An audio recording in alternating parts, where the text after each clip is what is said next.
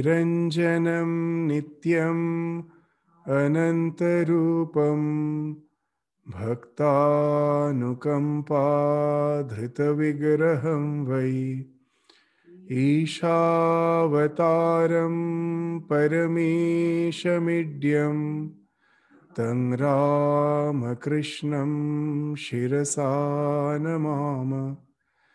जननीं शारदां देवीं रामकृष्णं जगद्गुरुं पादपद्मे तयो श्रुत्वा प्रणमामि मुहुर्मुहुः नमः श्रीयतिराजाय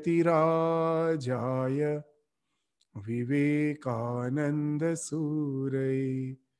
सच्चिद्सुखस्वरूपाय स्वामिने तापहारिणे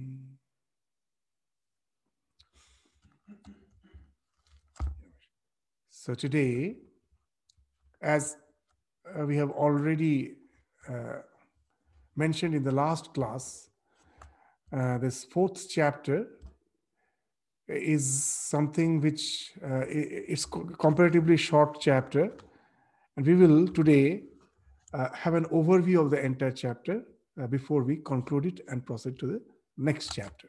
So the fourth chapter, that what is duty? So just to have an overview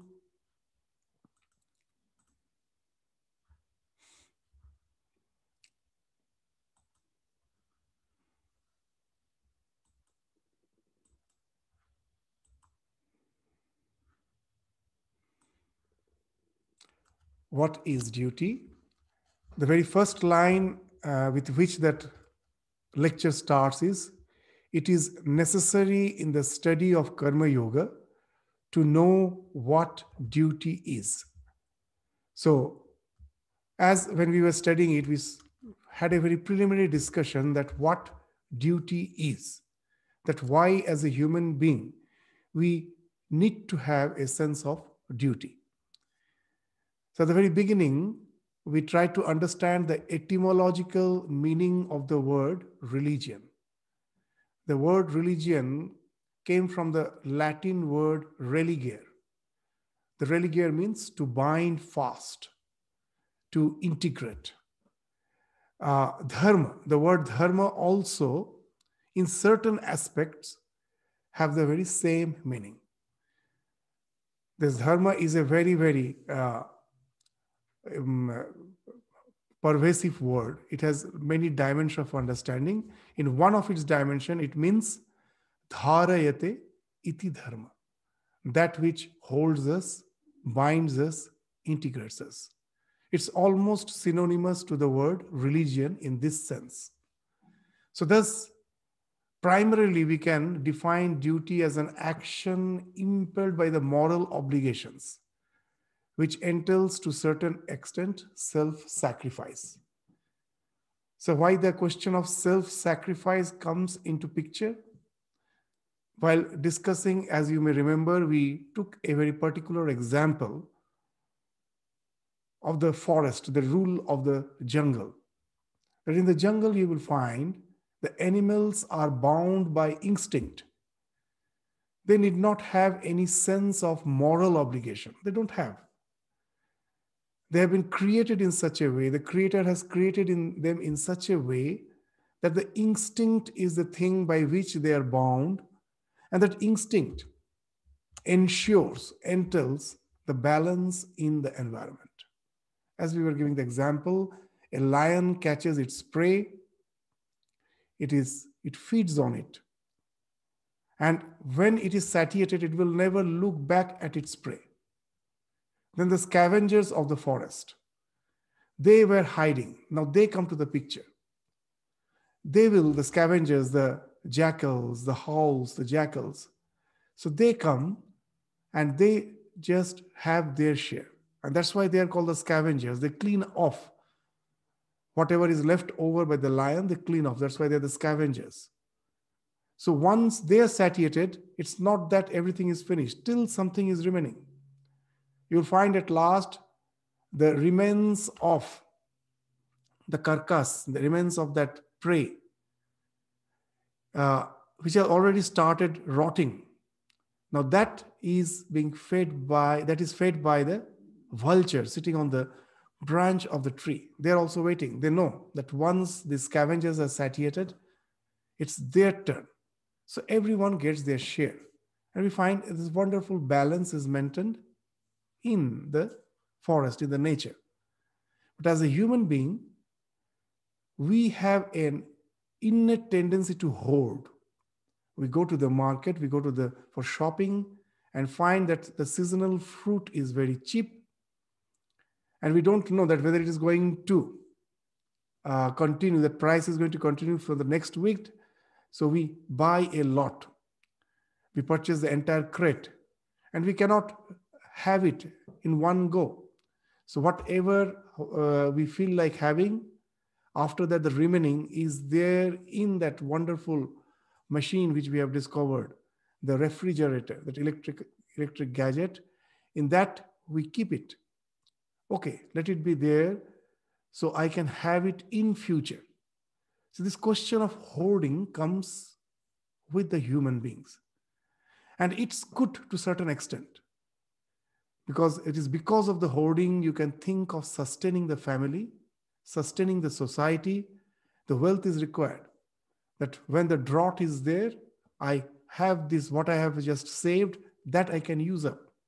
But what happens with the human beings we find that this hoarding becomes an ocd obsessive compulsive disorder. What is an what is ocd you go to the doctor that anything which is necessary when you overdo it, do without beyond the purpose, that becomes your OCD. It becomes compulsion. You forgot the necessity. So hoarding becomes an obsession with the human society. It is an obsessive compulsive disorder. And it is such a disorder, you will find what has happened. The 99% of the wealth, the world's wealth, is with the 1% of the population. And that creates turmoil in the society, all sorts of disbalances the society becomes carcinogenic, like the cancer cells, which takes food from the blood.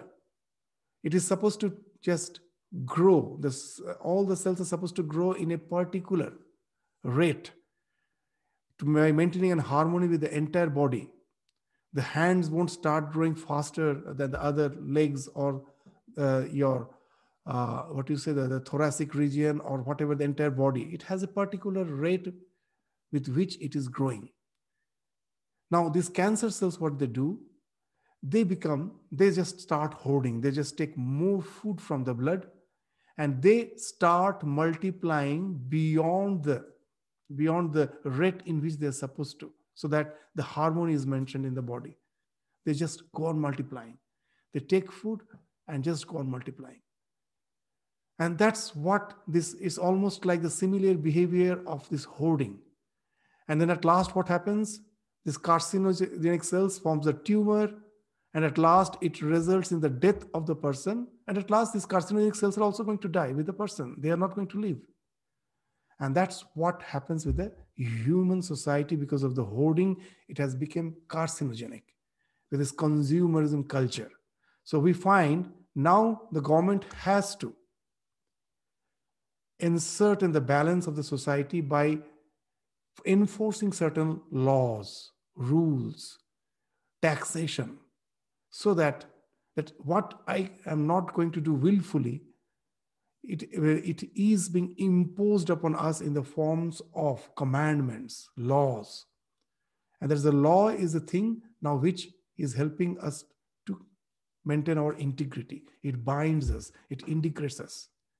So now you will find that whenever we hear of religion, it is a bundle of do's and don'ts, vidhis and nishedas. And sometimes we feel that oh, why to bind us with all those vidhis and nishedas? Actually, as our instinct is poor, in the animal, that instinct is designed in such a way that it maintains the balance. For us, it's not that. Intellect has taken its place.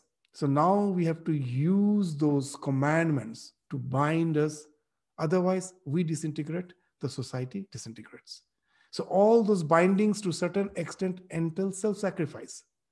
That I won't hoard. I will hoard only that much which is necessary. Remaining is there to share with others. So here the question of self-sacrifice comes.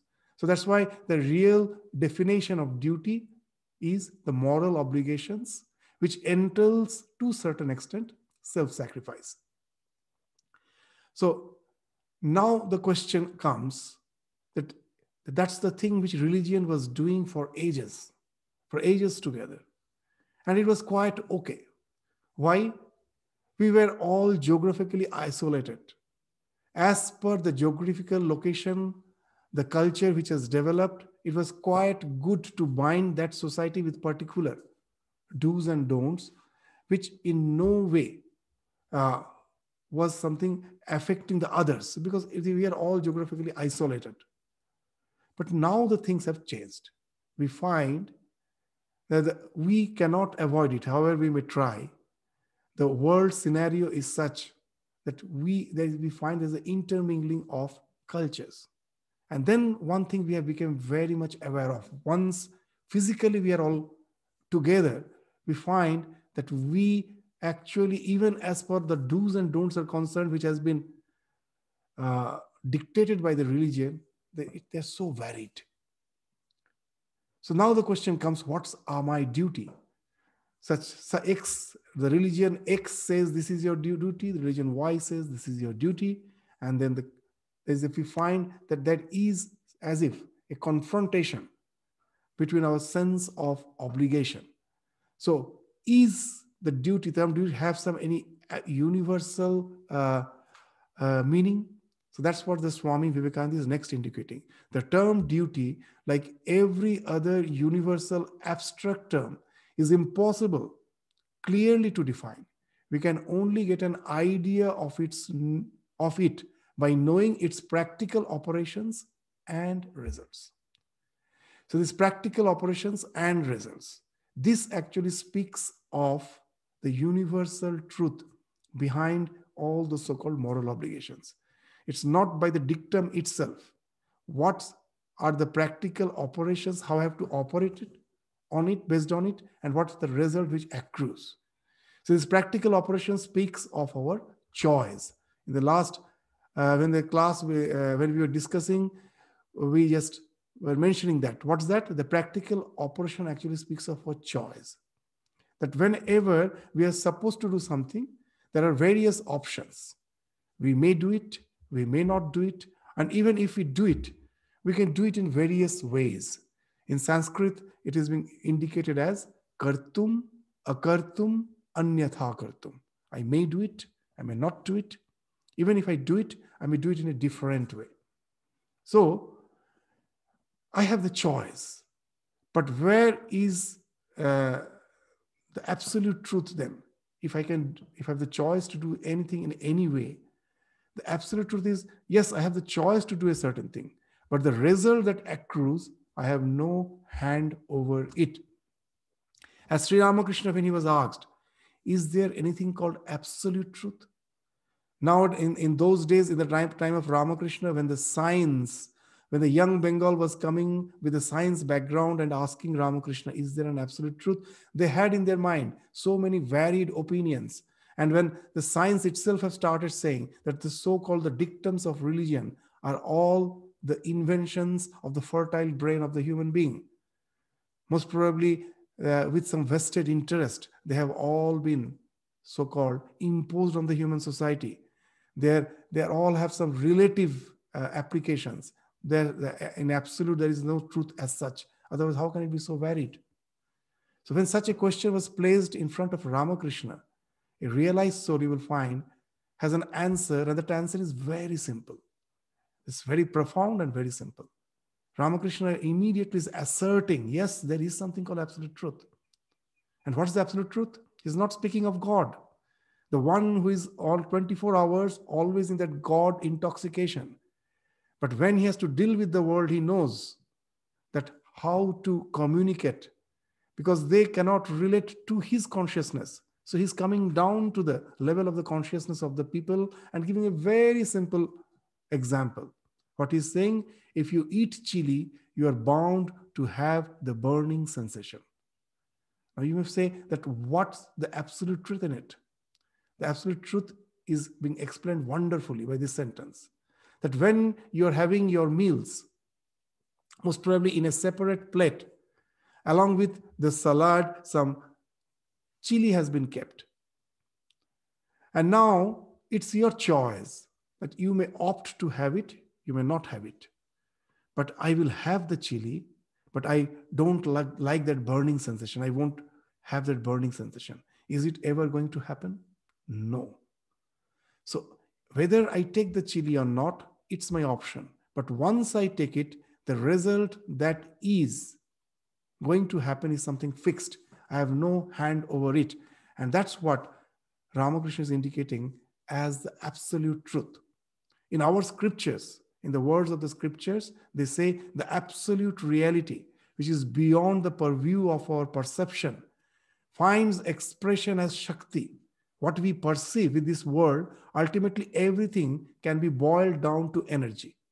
Even the matter which you see, you know, the mod as a student of the modern science, you all know that energy and matter is interconvertible. Even in a small speck of matter, huge energy is there behind it.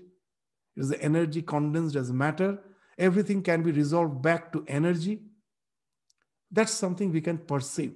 So the absolute reality, which is beyond our perception, when comes in the purview of our perceptions, finds expression as Shakti. The absolute reality has been nomenclatured with the word Om. That Om finds expression as Hrim, Hrim the Shakti. And that Shakti again is not chaotic. If it was chaotic, creation would have never been possible.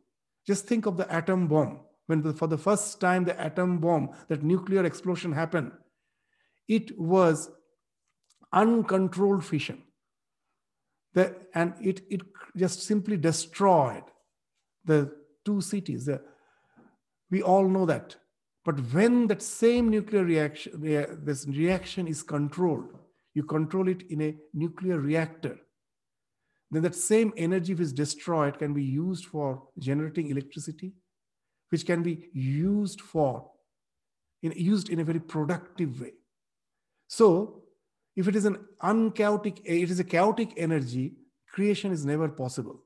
So the energy which we find is finding expression in this universe it always finds expression as certain laws. It is always within the rhythm. The word rhythm in english you will find very interesting if you just try to find the etymology of words, at last you will find it is in Sanskrit. Many words. Just see the English word mother, Sanskrit mata, so similar. Mata, mother, pita, father, swasa, sister, bhrata, brother. We can go on giving examples. There are in this almost all the words you will find has that Sanskrit uh, et etymology. At last you can find the root there. So here in the word rhythm, if you want to find the root, it came from the Sanskrit word ritam. The word ritam means the ultimate reality. We will find everywhere ritam is translated as satyam. Yes, it is not the satyam, it is not the truth in the absolute sense. The truth which is finding exp- the absolute truth which is finding expression in this universe as the law is ritam.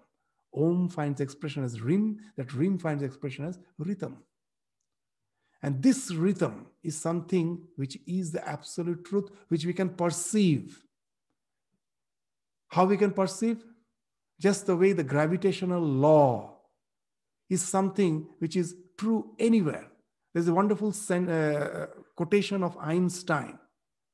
The most un what is? This uh, uh, the most uh, unexplainable fact of the universe is that it can be explained. How can we explain? Because there's a wonderful law. I, I, am not supposed to explain this universe. How? Why? Because it's such so vast. As a human being, I'm such a such a small being, uh, like an ant crawling on the earth's surface. How was it possible for me to explain the universe? That for us it has been possible because the entire universe follows certain laws. The gravitational law is universal. And that's why, with accuracy, the NASA scientists can send the satellite on the surface of the Mars. And not only that, there can be land rovers moving on the Mars surface. Why? The gravitation, which is true here, is true there, and the law which it follows is exactly the same law that follows through the entire universe. And now I can calculate and I can send a satellite there. So that's the rhythm, the rhythm. But generally, we feel that all the so called laws are just the physical laws. But here, the religion asserts it's not only the physical laws, the moral laws are also the laws which I cannot break. Just the way I cannot transcend, I cannot transgress gravitation. If I say I don't believe in gravitation, I'm not going to fly. That I don't believe in uh, gravitation, I jump out from a multi story to top of a multi story building and I'm not going to fly. I will crash and die. The same thing the scripture asserts that all the so called commandments, the do's and don'ts, are absolute in that sense. They fall under the ritam, they're satyam. Why? Because there is no, there is, as far the result is concerned, you can be certain there is no choice. I may choose whether I to follow them or not. But as far as the result which they are going to accrue, it is something very fixed. They follow the ritam. And there we find the need for the duty. In our attempt to break the laws, we will break ourselves otherwise. That's why we find that Swamiji is saying in a very wonderful way the truth does not pay homage to society, ancient or modern. Society has to pay homage to the truth or die. So, thereby, Swami Vivekananda is speaking by speaking of practical operations and results. The practical operation speaks of the choice and the result which we accrue as per the choice. And we find that is embedded in our being as conscience. We all have conscience. We may have various options, but there is something, the inner voice which says, don't do that way. The result which you will accrue is going to disintegrate you, is going to harm you. Do it this way. The conscience, the voice, the inner voice is there. So then now, as we find that the dictums outside cannot be the ultimate judge for our duty, the ultimate criteria for duty, now Swamiji next refers to the dictates of conscience. He's gradually bringing the point home that what actually is duty. Can the so-called uh, the do's and don'ts we can say it's duty? We will find that situations will come when we are in a dilemma we don't know what to do in spite of all those do's and don'ts. So now Swamiji is saying conscience. But again, this conscience, whether this conscience itself can again define the duty, no. We will find Swami Vivekananda, though he is not using these two words, is actually speaking of two types of conscience. As we in the lecture we found, one is the authoritarian conscience, which is the common conscience for the entire humankind. What is the authoritarian conscience? the conscience which develops because of the authority. A small child is born, and whenever it does certain thing, the parents may applaud the child. They'll say, Wow, you have done something wonderful. And immediately it registers in the child's mind, this is good. And for certain thing, the child is reprimanded, and the child immediately it registers in his mind that this is not good. So, what is good? what is bad. This is being decided by the authority. The authority, whatever the parents, the authority is saying him. And this voice is getting internalized gradually. The child grows, go to the school. The teachers also repeats the same thing. Constantly, his the teacher is applauding for certain thing, and reprimanding for certain thing, and that way we find there's this this authority is getting internalized, and that becomes gets converted into the conscience if we try to uh, judge the sense of duty, the judge judge to understand duty with that authoritarian conscience, again we will find it, there's, there is a lot of conflicting ideas. So it is actually the spiritually oriented conscience which on which our sense of duty should be uh, tagged together. We will be tuned together. Will be tuned our sense of the spiritually oriented conscience. It's not just the authority. If you just best uh, try to understand with a sense of authority, there also you will find varied opinions as per the nations, as per the religions are concerned. So it's actually the spiritually oriented conscience which Swamiji is speaking of as conscience. But what is spiritually oriented conscience? Does it solve the problem? Again, we will find it is almost uh, what is it is very difficult. First, in the words of Swami, that why authoritarian conscience uh, cannot ascertain the our duty. Let, it, let us just read the, the word in the words of Swamiji. But what is it that makes an act a duty? If a Christian finds a piece of beef before him and does not eat it to save his own life, or will not give it to save the life of another man, he's sure to feel that he has not done his duty. But if a Hindu dares to eat that piece of beef or to give it to another Hindu, he is equally sure to feel that he too has not done his duty. The Hindu's training and education make him feel that way. In the last century, there were notorious band of robbers in India called thugs. They thought it was their, it's their duty to kill any man they could take away his money. The larger the number of men they killed, the better they thought they were. Ordinarily, if a man goes out into the street and shoots down another man, he is apt to feel sorry for it, thinking that he has done wrong. But if the very same man, as a soldier in his regiment, kills not one but 20, he is certain to feel glad and think that he has done his duty remarkably well. Therefore, we see that it is not the thing done that defines a duty. So, based on that authority which has been internalized, when you're doing the duty, there can be varied duties. It cannot really explain that what duty is. So, next Swamiji comes to that spirituality oriented conscience. Hence, it is a spiritually spiritually oriented conscience that can ascertain our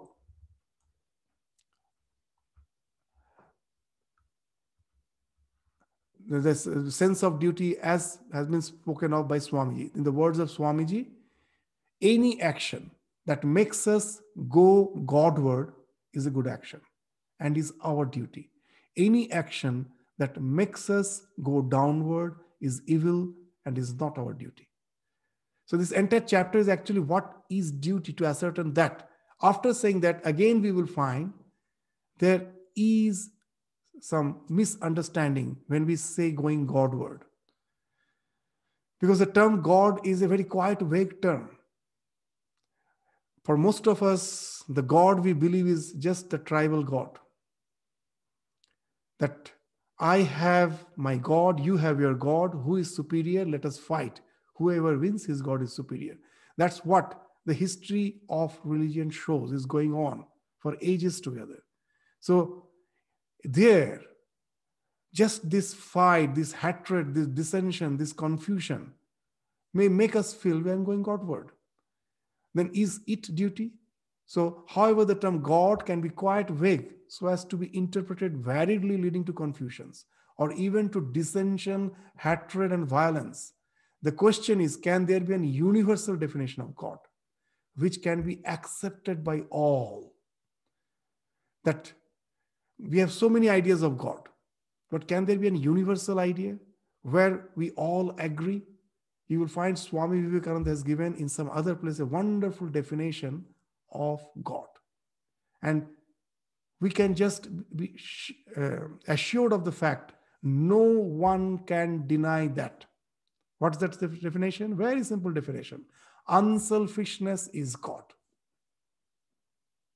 Does that any religion with whatever belief of their god they uh, may have they can say that they believe that the god is extremely selfish no one no one can say unselfishness is god the god is unselfish swami in the words of swami vivekananda very nice that what's the reason of selfishness our amness limited only to this body mind complex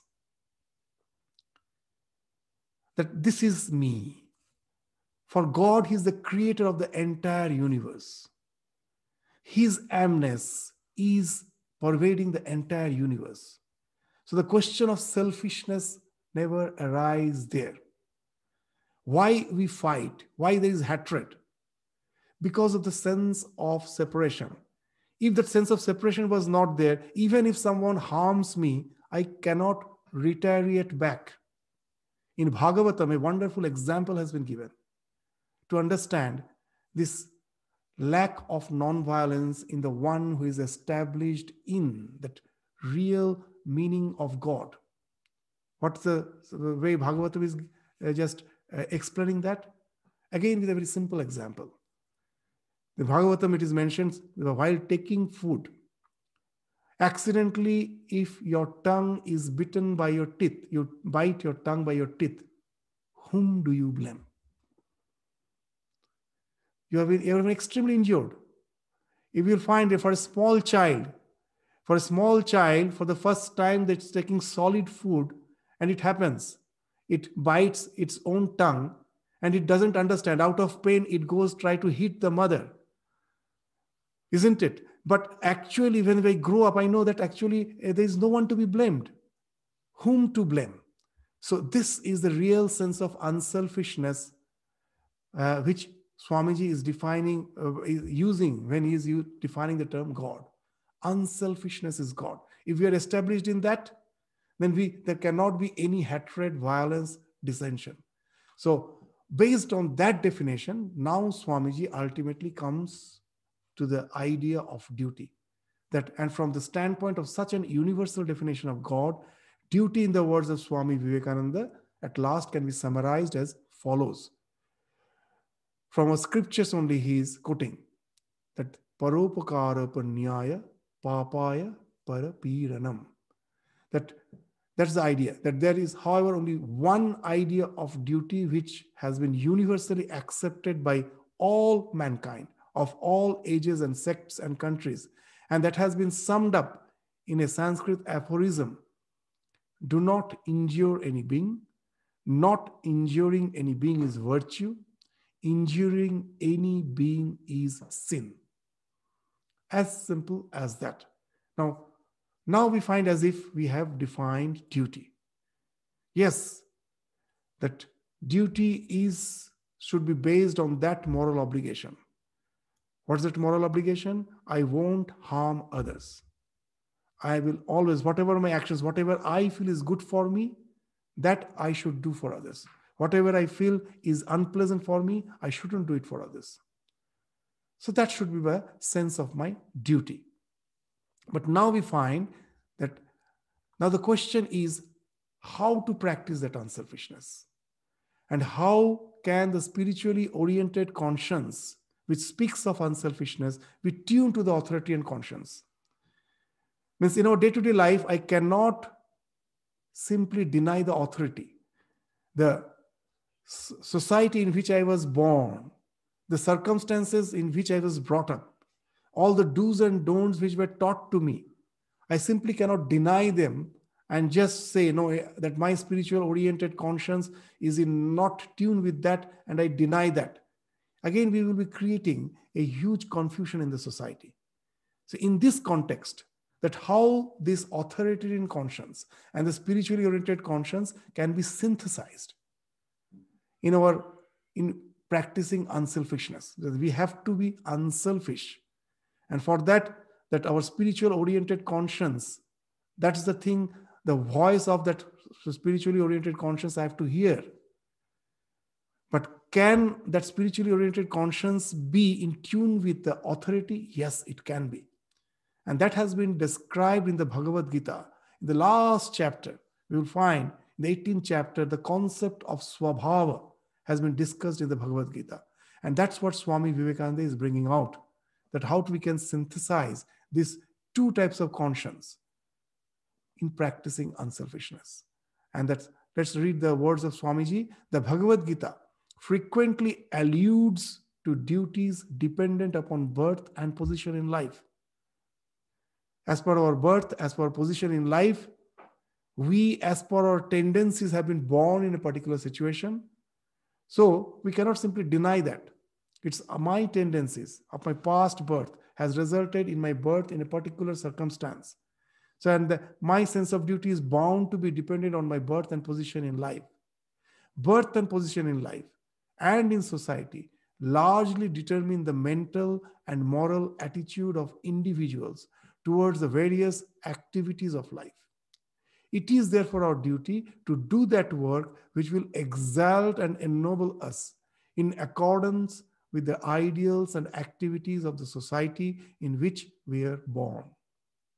So, in this context, we are not bringing the exact sloka into the picture. We will find that Bhagavan is saying that as per our swabhava, we are born in any of these four castes. There are only four castes.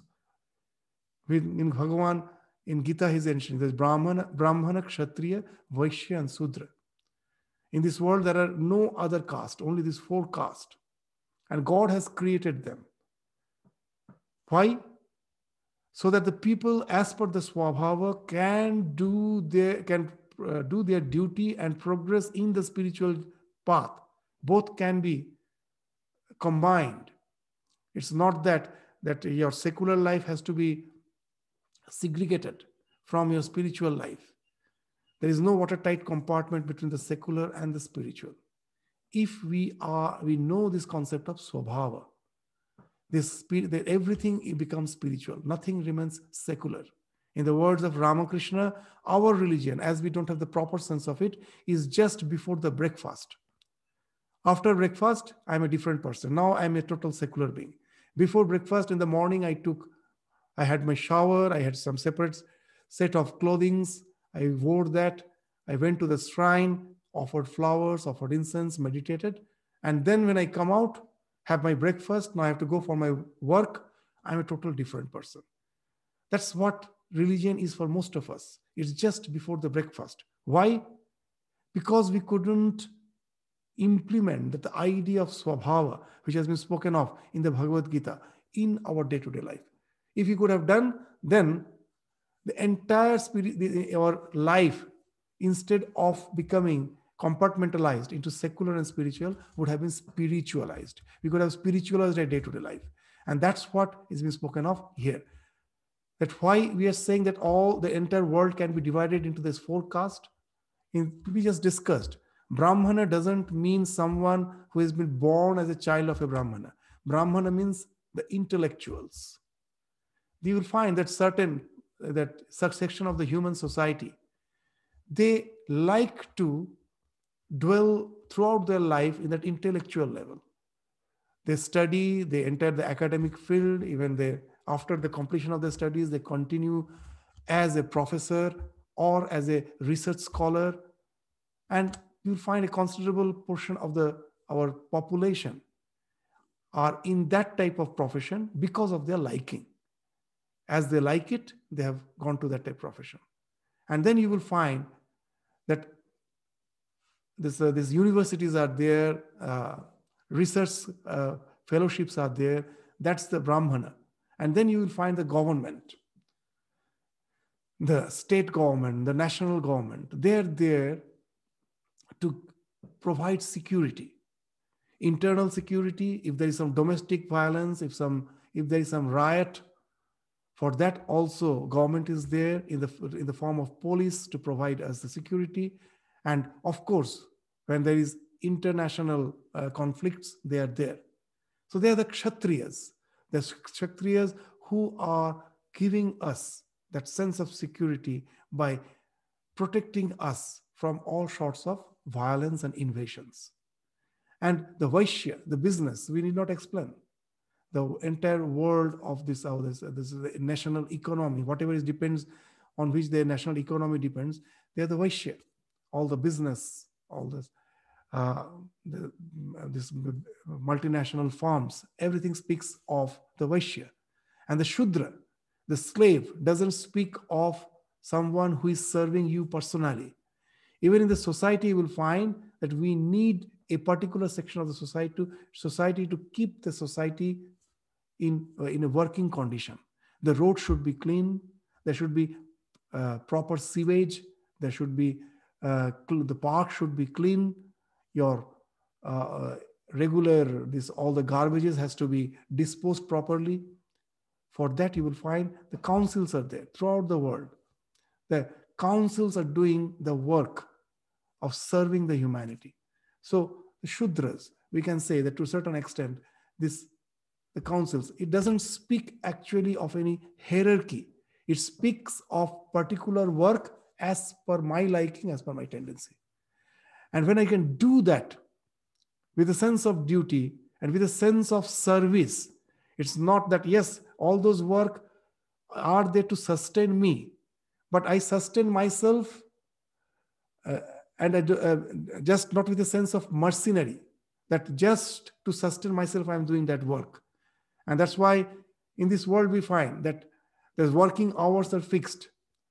And so very easily we can we will find people are saying that as per the contract, this much was the work. I'm not supposed to do anything else.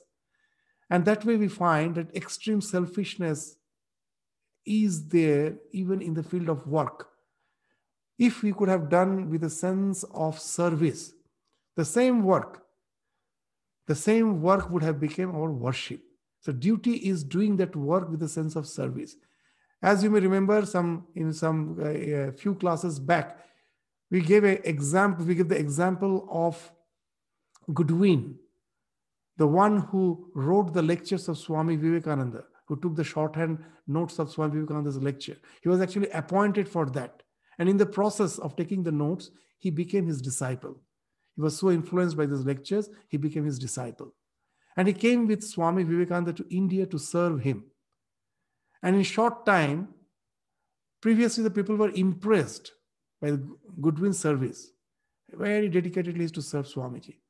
Even he used to take care of his personal needs.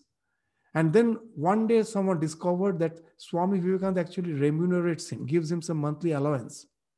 And immediately all started saying, oh, he is not a devotee, he's a paid worker. And this words at last came to the ears of Goodwin. And Goodwin's immediately the response was wonderful. He told, Yes, it's true. It's true that Swamiji gives me some monthly allowance. He remunerates me. It's only because I have an old mother back there in England. I have, and she is there alone. I have came with Swamiji here, and she has none is there to look after her, to sustain her. For her sustenance, I take, I do take something from Swamiji to send it to her, so that she can be sustained. But no one should think that I serve, I serve Swamiji because of that. I really love Swamiji. It's my, my dedication. It's something which pours out of my heart. That's how I serve Harji. So I serve Swami Vivekananda. So the idea is that we are placed in the society as per liking with particular duties. We should take it as an opportunity to serve. It's not with a sense of mercenary that you pay me eh, in return i give you this much of work. It's an opportunity. The society has given me an opportunity to serve. I've got that chance to do it. I like to pour my heart through that service. In return i get something because after all i have to sustain myself but i never equate it with that so you will find this wonderful the idea of swabhava is something it has far reaching implications the same thing, the same work you can do with a sense without any self respect. And again, you can do with a tremendous sense of self respect. The moment you do with a sense of service, the same work becomes the cause of your self respect. You start respecting yourself that, yes, I am a productive member of the society and I am doing it with a sense of service. So, that's the idea which Swamiji is bringing here when he's speaking of this wonderful concept of Swabhava. But there are again challenges in practicing Karma Yoga as per our Swabhava. The first challenge is the lack of cognitive empathy. Now we use the word empathy, but this empathy can be can be classified as affective empathy and cognitive empathy. What's it? This Swami will, Swamiji is not using these terms, but in his discussion, you will find it is coming up. That when I say that uh, I have to work, uh, that uh, we have to be empathetic, and many of us will, I'm empathetic. What's there in it? What's so, so big about it? But you will find my empathy is restricted only to my family, to my kith and kin. And there is no credit for that. That is not the real empathy. That has came through evolution. Even in the animal kingdom, you will find that. What that affective empathy is, that affective empathy refers to the sensations and feelings we get in response to others' emotions. It is like mirroring. This can include mirroring what the other person is feeling. Even in a small child, we find the children are playing together. One child falls and starts crying, all others starts crying. They just mirror. The mirror neurons are there to mirror. It is something which uh, has, as we evolved, we have actually imbibed those qualities. Uh, this mirroring of the other person's emotions. And we just feel stressed when we detect the other's fear and anxiety. It's not this. This affective empathy is not what Swamiji is speaking, speaking of. He's speaking of actually cognitive empathy. What is that? It is something unique to the humans. No one can do. In animals, you can have that affective empathy. You will see the lion, after killing its prey, is taking care of the small one of that prey. Uh, that suddenly that motherly love has started flowing. But there, it is just an affective empathy. There is no such conscious decision behind it. The cognitive empathy speaks of some conscious decision. It is called perspective taking. I have to imagine the pers- I have to imagine from the perspective of the other person that w- what the other person is doing, why he is de- doing. Let me place him in his position and try to think of the situation. And then you will find that instead of being judgmental, you are, you are becoming sympathetic. To give a common example, it's a, uh, that a hardcore criminal was in the jail. The entire society uh, was constantly criticizing for that person for his crime. But when the interview was taken, what was revealed from that, we all will find that we, instead of uh, simply reprimanding that person, criticizing that person, most probably we also will find we are becoming a bit sympathetic. What he told, that I was brought up in a situation, I was a refugee in a refugee colony. We were all growing, and this, everyone was very violent. When I was going to school, uh, on my birthday, I was went to school by wearing a wristwatch, which my father has bought me as a present, birthday gift. And some senior, seeing that wonderful watch, claimed, Give it to me. When I denied, he told, If you don't give the watch, I will stab on your hand, stab on your wrist. And this child thought that he was joking. So again, he denied. And literally, he brought out a knife and was stabbed on the wrist.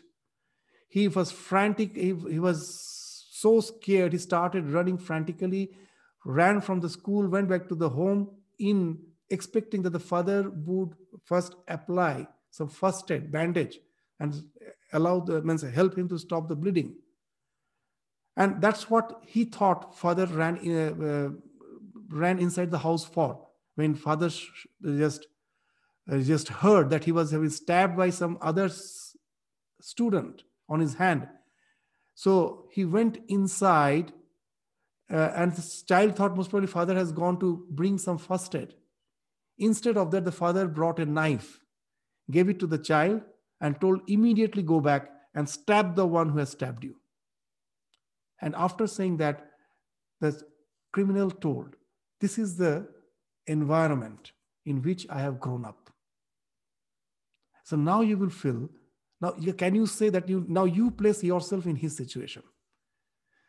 That isn't we who have been brought up in a family, very nice, integrated family, isn't it our, but it's a blessing? As a child, I was helpless. If I was placed in that situation, I also would have grown with that type of mentality. So place, if, if we place in others' position, then we will find that instead of judging, we also are becoming sympathetic. There cannot be any person whom, to whom we cannot be sympathetic. That's the perspective taking. You take his perspective. And that's the thing which is a human faculty, which no other animals can do. And Swamiji is actually speaking of that. How? He's not using the term. You will find he's mentioning an American think that whatever an American does is accordance with the custom of his country. Something which I have not mentioned here that Swamiji actually is indicating in this lecture.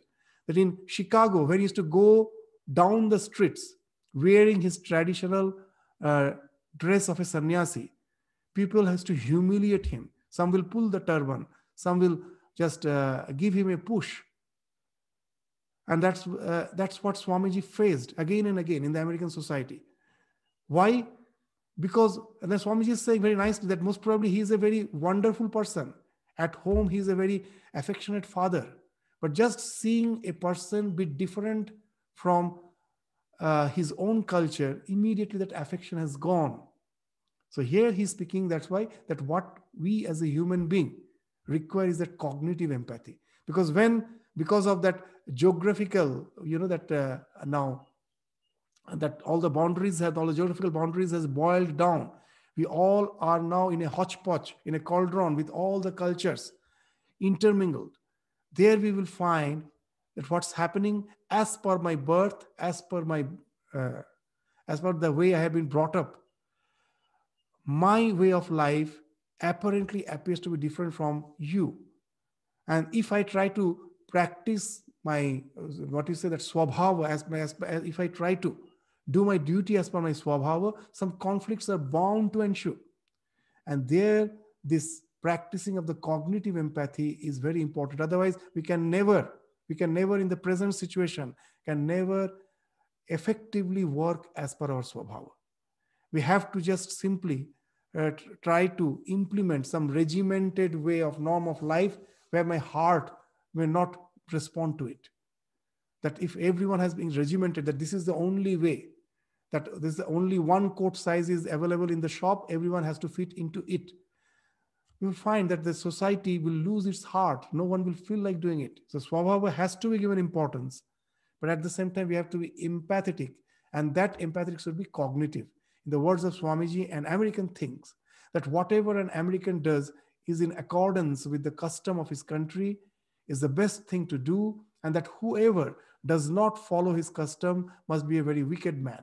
A Hindu thinks that his customs are the only right ones and are the best in the world, and that whosoever does not obey them must be the most wicked man living.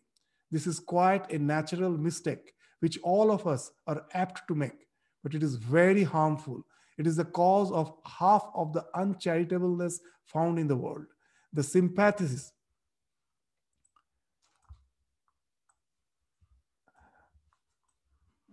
The sympathies of these men were limited within the range of their own language and their own fashion of dress. So the ill effects that ensue from the lack of cognitive empathy is much of the oppression of the powerful nations or weaker ones is caused by this prejudice. It dries up their fellow feeling for fellow men. So after saying that, Swamiji points out that the need for this to develop this cognitive empathy. Therefore, the one point we ought to remember is that we should always try to see the duty of others through their own eyes. That's the perspective taking. And never judge the customs of other peoples by our own standard. I am not the standard of the universe. I have to accommodate myself to the world and not the world to me. So, after this, Swamiji is speaking of the second challenge in practicing karma yoga as per our swabhava. What is that? There is, however, another danger, this one great danger in human nature, namely that human never examines himself. So when I am supposed to do some work, I think I am up to it. To give a common example, a student is good in all the subject and also, of course, he's good in, uh, say, biology and he gets chance in medical college or she gets chance in medical college and as a student he or she most probably is performing very well as long as he was his knowledge was just restricted to the textbook he found interest it was quite well and now when he has to go to the hospital because after all he or she is going to be the doctor and he finds or she finds the environment to be nauseating whenever he sees a sick person, sees blood. And now you will find that he has actually misjudged. Just love for the subject while reading the book doesn't entail that his or she is going to be a doctor because he or his or her temperament is such that they cannot face the situation when someone is sick. They also start feeling sick. That hospital environment sometimes repels him or her. So it's not the textbook anymore. And then he or she feels that this was not up to my swabhava. I have actually misjudged. And that's what happens with us. This eh, there is, however, one great danger in human nature, namely that man never examines himself. He thinks he is quite as fit to be on the throne as the king. Everyone thinks like that. So, now how to overcome the second challenge? There is no other way than to learn from the experiences of life. That's a very hard way. When we begin to work earnestly in the world, nature gives us blows right and left and soon enables us to find out our position. No matter how long, uh, there's no matter, no man can long occupy satisfactorily a position for which he is not fit. There is no use in grumbling against nature's adjustment. He who does the lower work is not therefore a lower man. No man is to be judged by the mere nature of his duties, but all should be judged by the manner and the spirit in which they perform them. So your nature will de- decide that. And we shouldn't think that such and work, such and such work is greater, and I should place myself there. And that's why we find that all the so-called dissatisfaction in our workplace is because of that that I have placed myself in some occupation which doesn't actually tune with my temperament. So the, when the hobby hobby becomes our profession, then that profession becomes enjoyable, and that only through the experience we can learn. Otherwise, sometimes we what we do we that bite more than we can chew, and we find that we are almost incapable to deal with the challenges of that so-called responsibility. So once our swabhava is ascertained, we have to practice nishkama karma. Now this, now that heart should flow. That with my, that Swamiji used to speak of 3H, uh, synthesis of 3H, head, hand, heart. I have to be intelligent, that is speaks of the head. I have to be skillful, that speaks of my hand. And at last, the karma yoga comes when the heart also gets tuned to that head and hand. For most of us, that heart factor is not there. That even we find the doctor is quite skilled, is very intelligent, but at last, most probably is thinking of making money only. So then that can never turn into karma yoga. These three should come where my personal interest is not the prime factor. Service is the prime factor. So when, according to the swabhava, you have determined your duty, now, with a sense of nimitta, as a sense of instrument in the hands of the Lord, you have to work. That's what Swamiji is saying. That then the Nishkama Karma, idea of Nishkama Karma, has to fit in with your Swabhava. Later, we shall find that even this idea of duty undergoes change. And that the greatest work is done only when there is no selfish motive to prompt it. Yet it is work through the sense of duty that lead us to work without any idea of duty when work will become worship, as in the as in the case of Goodwin, which we are saying, that work became what the worship, nay, something higher, then will work be done for its own sake. So, in the last class also we were quoting this sloka of Bhagavad Gita, Yatah pravrittir bhutanang yena sarvamidam tatam swakarmana. Whatever is your action, do it in a sense of service. Abhyarcha, tam abhyarcha, that will give you siddhi that will give you emancipation siddhing vindati manava so this actually entails the annihilation of your lower self the ego when you can do in that way. That's what swamiji is saying. The object being the attenuating of the lower self so that the real higher self may shine forth. The lessening of the frittering away of the energies of the lower plane of existence so that the soul may manifest itself on the higher ones. This is accomplished by the continuous denial of the lower desires, which duty rigorously requires. And what's the result? When, with the help of your that swabhava, you can annihilate the ego and do your action without any sense of personal uh, benefit, but do it with the help of service. The three things results with Swamiji, with which we'll conclude the lecture. There's a love, forbearance, and chastity. The real love actually is what for us, at the present in the human society, what love is? That what gives me happiness? That we love for my own happiness. That we love to love. That's the thing. That by loving others, that I find that the happiness is that is not love. That is just simply infatuation. That is lust. In Bhagavad, this Bhagavatam, uh, Chaitanya, in, uh, in Chaitanya Charitamrita, Chaitanya Mahaprabhu is mentioning that. Atmarati Kama. That the so-called love which is defined in the, in the human uh, society is not love. There is no sense, sense of self-sacrifice. So real love, Swamiji will define here. The duty is seldom sweet. It is only when love greases, the real love greases its wheels, then it runs smoothly. He gives no example.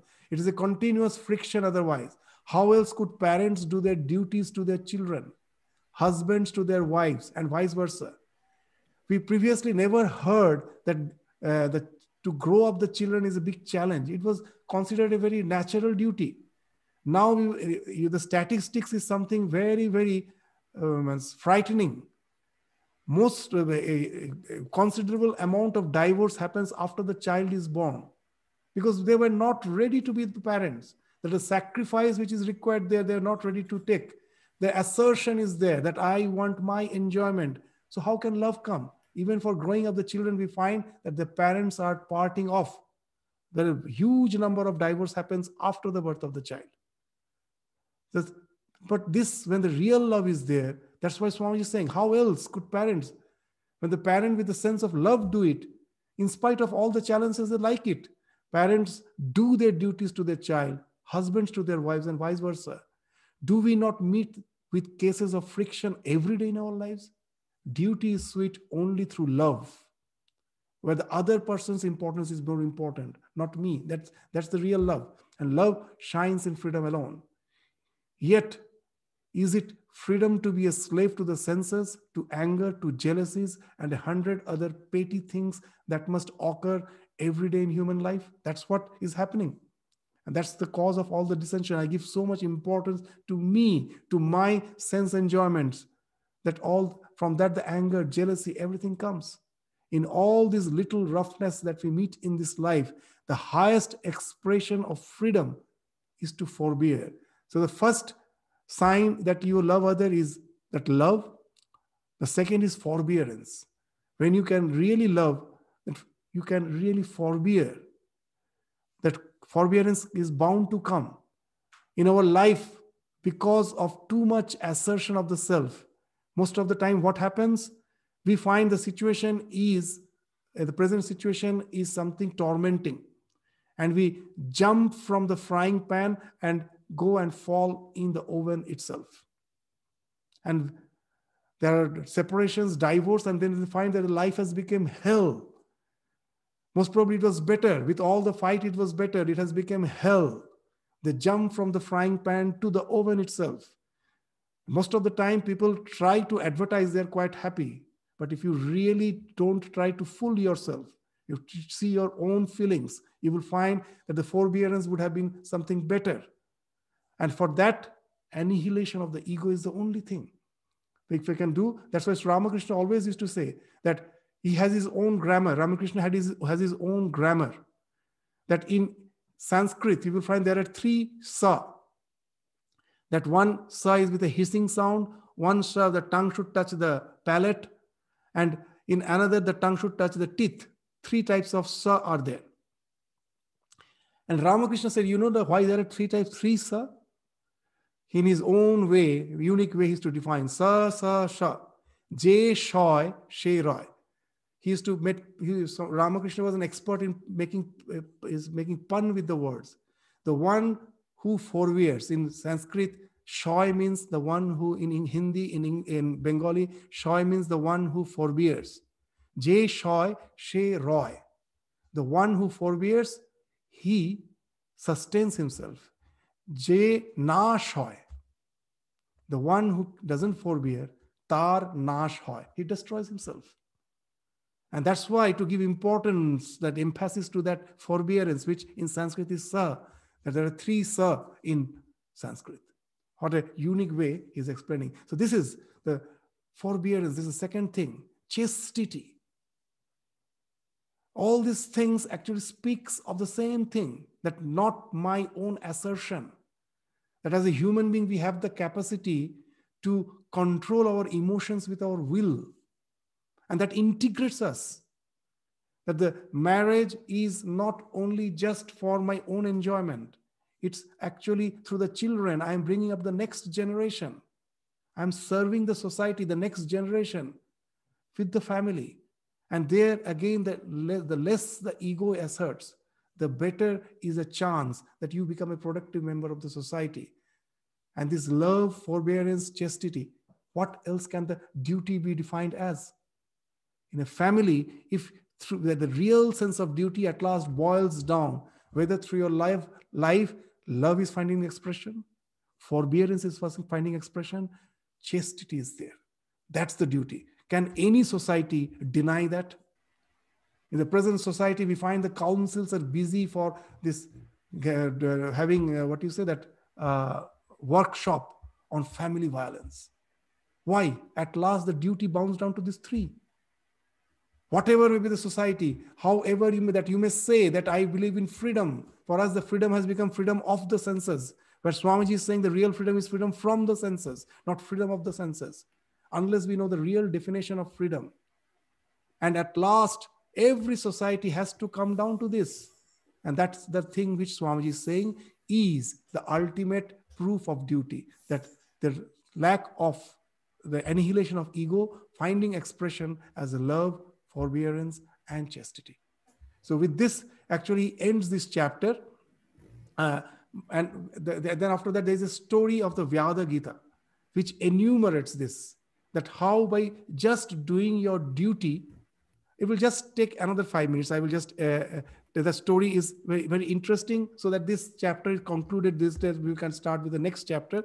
The story goes this way that a sannyasi, a young sannyasi was doing a lot of austerity in the forest, was meditating. And one day, while meditating, he found a few dry leaves fell on his head.